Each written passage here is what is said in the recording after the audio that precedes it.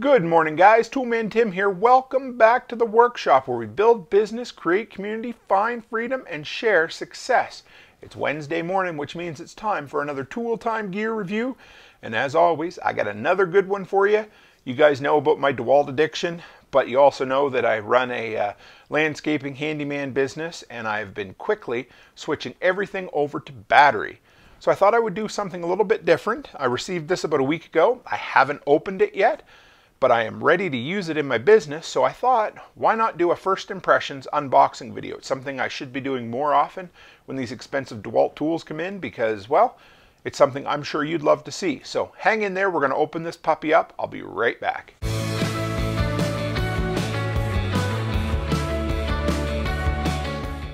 All right, guys, real quick before we dive into the review, if you haven't and you want to become part of this community, just hit that subscribe button. we get new videos five times a week from Saturday through Wednesday, tool reviews, starting your own business, and all kinds of things in between. And run by toolmantim.co, that's toolmantim.co to find out everything there is to know about me. Uh, check out the shop section there where I have a whole bunch of recommended Amazon products. They're basically uh, solutions to problems Things like, hey, I got paint on my siding, how do I get it off? Or I need to hang a really heavy painting and I can't drill, what do I use? Things that I've run into in my business that have made me money or saved me money. So run by there, check it out. Anything you pick up will help support the content I create and, you know, help support this channel. So thanks, guys. All right, so now let's get into the meat of this review. So you guys, I don't know if you have watched some of my other reviews, things that I've worked on, done, that kind of stuff, but you know that I love my outdoor DeWalt landscaping cordless tools. Now, last summer when I was down visiting my kids, I ended up needing a weed whipper because I didn't know that their place was in you know dire need of weed whipping. so I went to Home Depot and I bought their 20 volt uh, collapsible weed whipper, and I fell in love with the damn thing. It worked great. The only thing that sucked about it was the head it was just horrible. It would feed string all the time. It, it basically, it, it, didn't, it wasn't like a bump feed. It was like a, a, centrifugal feed. Every time it was spinning, it would always be feeding a little bit and you'd be cutting it off. You'd be going through string like crazy. And then the bump head actually wore through really quick. So it'd be cool for like a homeowner, but it, it didn't cut it for, for me. So I upgraded the head and it was perfect. And I thought, you know, I love it. And I'm a two is one, one is none. So I just bought another cordless DeWalt mower that makes two. And I wanted another cordless DeWalt weed whipper. And this was, well, basically I do like getting the same of both, but I really, really wanted to try this new, the 60 volt flex volt.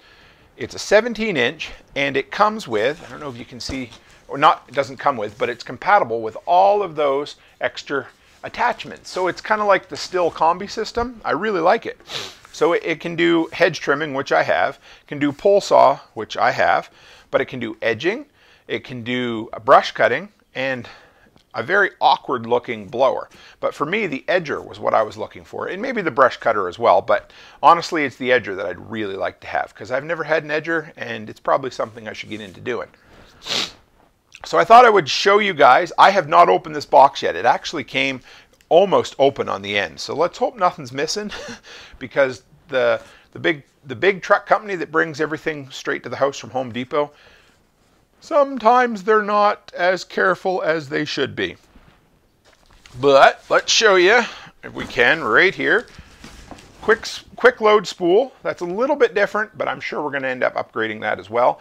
Comes with a I believe it's a 3 amp flex volt battery, comes with a charger, and of course they love to show off that it, it works with all the 20 volt and 60 volt attachments. Model number is DCS T972X1. Always love it when they throw the X's in there. And of course, attachments available, all of those right there. Looking forward to them. They're about 100 bucks. Some of them about 100 bucks Canadian, which really isn't that bad. 17 inch, 431.8 millimeters. Uh, I had no idea. Such a convenient system, hey? All right, so let's open this bad boy up and see what comes in the box. I'm going to set it down here. It's going to be out of your way for a second.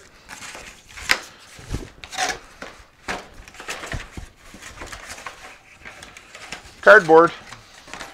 Here is the charger. See if these old eyes can read that. 1.5 amp lithium ion fast charger. That's good because a lot of them that I end up getting. They seem to be. I got to check the one with the mower, but I haven't been real pleased with them. Although you guys know I use my fast charger, so that's not that big of a deal either way. Now, let's see if we can get this out of here. More cardboard.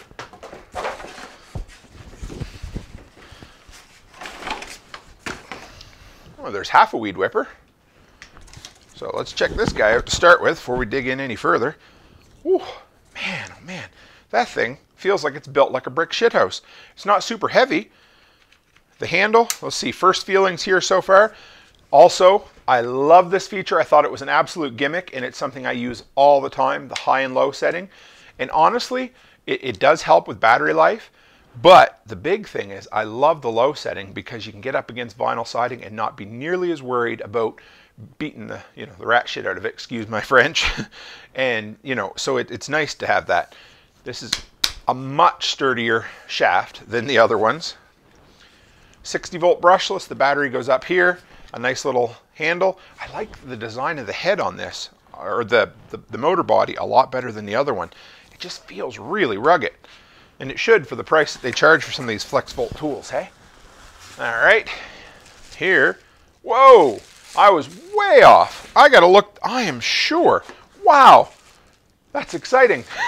a 9 amp hour battery. I'm not kidding. I'm sure when I bought this sucker, it said a 3 amp hour on the package. Uh, the box? Man, I'm going to need glasses soon. the box says 9 amp hour, I think, but I'm sure when I bought this guy online that it was a 3 amp hour or maybe a 4 amp hour battery. But this is, yeah, that really makes my week. I love it. Now I got to show you something and you'll probably laugh at me. I don't know if you guys have seen these, but these FlexVolt batteries, they come with these red connectors and it took me way too long to figure out how to remove them on the last one. I was thinking, I got to get a knife. What in the hell did they put them on there with? And then of course you realize they come off just like you put them on with a tool. push down the button and it slides off. Everybody online says, keep these, protect your batteries. I probably should. But I don't because, well, it's just another little piece to lose and get in the way and be a pain in the ass. But that is a brick of a battery. All right, now the final piece, I think. Let's see. Nope, a couple more things.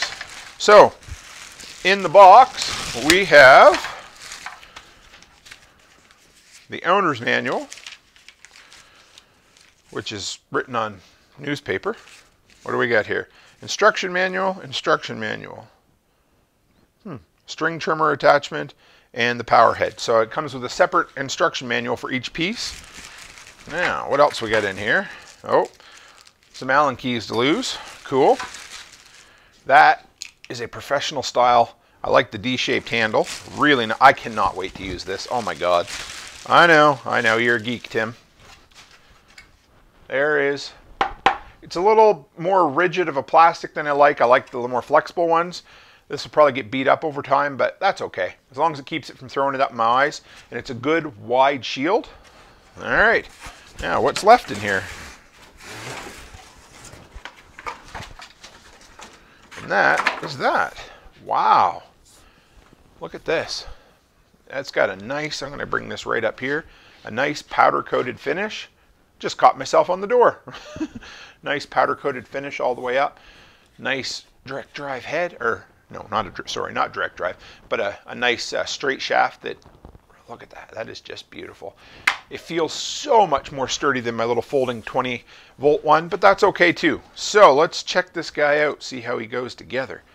So in case you're wondering, oh, well, we need to re remove the, the thread protector, which may be an issue. So we may not put this together right now while I stand here and look like a dummy.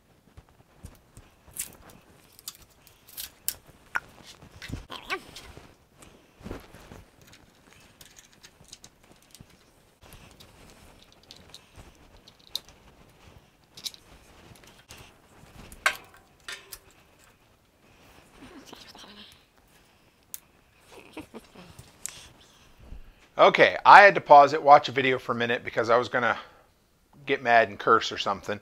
Anyway, something super simple, and I'm sure someone else out there is going to do this because I sometimes, like I said, I get confused by the littlest things.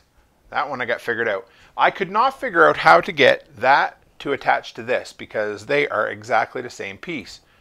exactly the same diameter. I'm like, I wanted to make sure. I was like, this is chipping up really well. I said, that feels like plastic. Metal, metal, plastic. Guess what? Out it comes. There we go. Latched into place.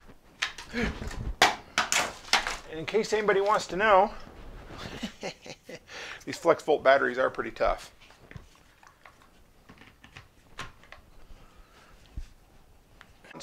Much more balanced than the other one. That's one of my biggest complaints. But I cannot wait to get out in the field. Keep an eye out in the next month or so. We're going to run this sucker through its test, through its paces, test it out and see how it works. So anyway, guys, I hope you enjoyed this unboxing video. I hope you laughed at my expense when you realized that all it was was a simple little piece of plastic. That's it for me, guys. Anyway, as always, stay happy, stay healthy, and have a great week.